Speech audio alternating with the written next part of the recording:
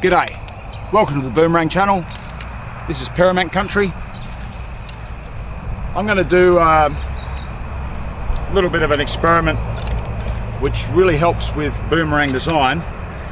I'm going to take my number one model, the Little Ripper, and I'm going to show you how a, um, a finished one flies and then I'm going to go through a number of uh, boomerangs uh, that, that I've just made up um, roughly from their first shaping. But what I've done is I have um, left out a surface here and there. Um, I've, I've either taken um, less off the uh, trailing edge of the dingle arm less off the leading edge more, a more blunt leading edge of the dingle arm um, it, um, and uh, same thing with the lift arm and so forth. Some have got undercutting on one arm, some on both arms, some have got no undercutting, uh, right down to one that's just a, I think just a bare, uh, yeah, something with no surfaces. All right, so I've, I've, given them each a letter, A through to K, and uh, and I would just see how the, the difference in flight um, happen between the um, the finished Little Ripper. Okay, so the Little Ripper, the one I'm going to throw first, has got has got varnish on it, and then I'm going to throw an unvarnished, uh, hasn't had its final sanding, but basically it's just the same. Um, and then uh, one with no undercut on the dingle arm, one with no undercut on the lift arm, uh, no undercut at all. Um, uh, one with a blunt elbow uh, section, one with a blunt load, um, leading dingle arm, uh, leading leading arm, one with a blunt leading edge on the lift arm, uh, one with no trailing bevel um, on the dingle arm, uh, one with no trailing bevel on the lift arm, uh, less bevel on both the trailing and the uh, uh, uh, on the tra trailing edge. Both trailing edges have less bevel on them. And finally, one with no surfaces at all. And it'll be interesting to see how this one goes because uh, that should demonstrate how much of a boomerang's turn in flight is actually caused by gyroscopic uh, precession because it has no aerofoil shape to it whatsoever. So, alright, I'll, uh, I'll put subtitles up and uh, so you can see what I'm doing with each one.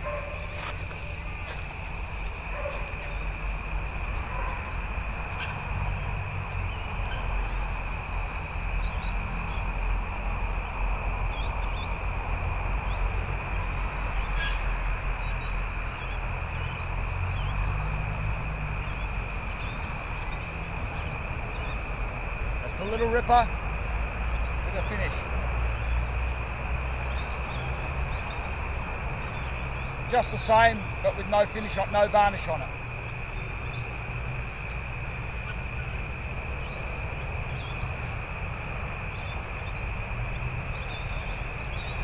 Okay, came around. But didn't, uh, not so slippery through the air, I suppose. No undercut on the dingle arm.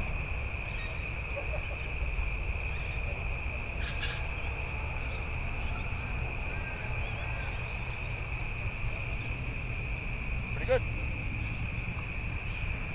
No undercut on the lift arm.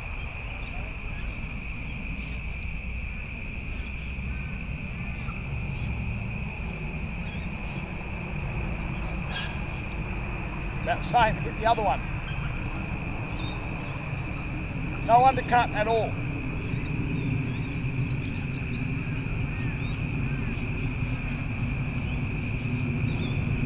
Don't know if you saw that, that went a lot lower. Blunt elbow.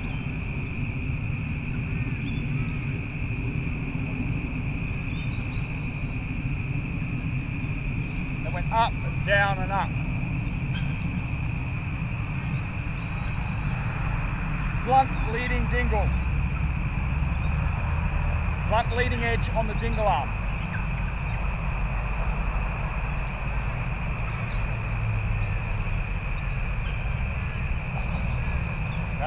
Make a full circuit.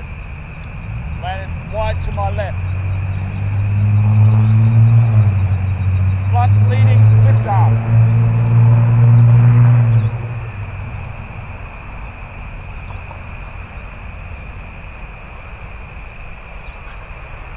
Again, it's working a bit harder to get through the air, so no trailing bevel on the dingle arm.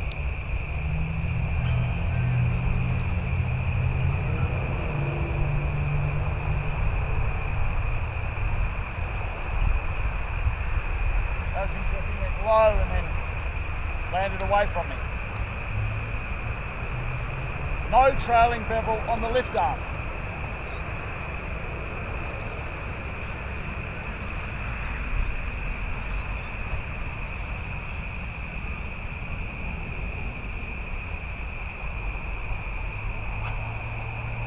less bevel on both the trailing and the lift arm.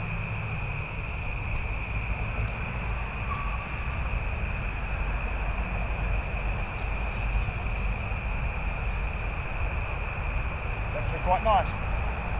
I've got a little bit of wind, I can just feel it coming across. But this is um, no surfaces whatsoever.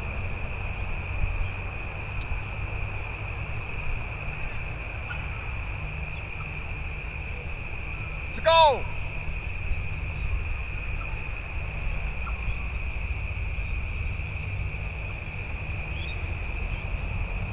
I might repeat those. Okay, so I'll just show you where they finished up. This is where I was throwing from and that's a little ripper with a finish on it. Alright, and my next closest one about four and a half meters away. There's a few over there, but the one closest to the to its final trajectory of the finished one. This one here, and that has blunt leading lift arm. So it's blunter on there. Alright, now I've got a whole bunch of them just two and a half meters to my right. And what do we have here? Um, less bevel on both the on both trailing edges. So you can see I've gone you know, compared to a little ripper. Yeah, there's less bevel, less bevel than there and there, there and there. All right.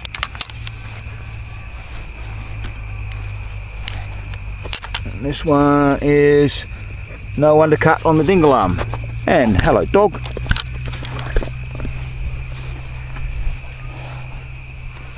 And what have we here? And that's uh, that's the same one with all the surfaces done, but it has no no varnish on it. Okay, and this one that actually hit it was no undercut on the lift arm. So this is the back side of the boomerang, so you can see this undercut on the dingle arm, no undercut on the lift arm, the long arm of this designer boomerang. Okay, now going further away from me, so that started to do a turn. Uh, I've got no trailing bevel, no trailing arm bevel on the dingle arm. So you can see, dingle arm has no trailing bevel like this one does. Okay. Two meters to this one, two meters further away from where I was throwing. Uh, no trailing bevel on the lift arm. The lift arm there, you see, there's no trailing bevel like there is on that. It's just a very slight edge. And then off to my left, left of where I was throwing,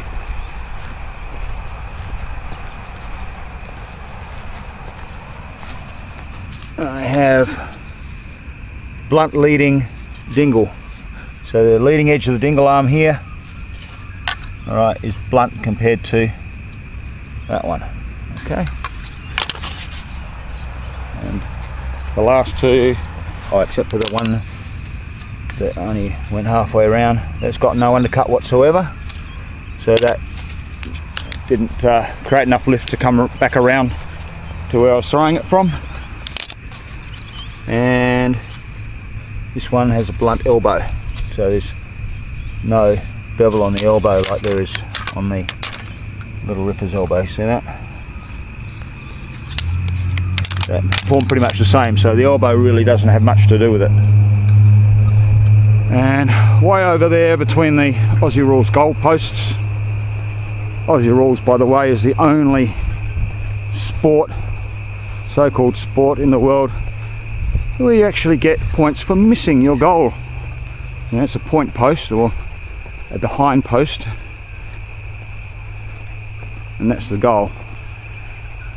If you get it through the big sticks you get six points and if you get it through the little sticks you still get a consolation point. Yeah. Kind of a national shame really. And that's the one with no no surfaces at all, that was just a blank um, off there but you can see uh, I was actually aiming to the left of that point post uh, to the far side of the point post from where we're standing. Um, and it sort of came around in a C shape but obviously generated no lift uh, because it didn't have any uh, aerofoil surfaces.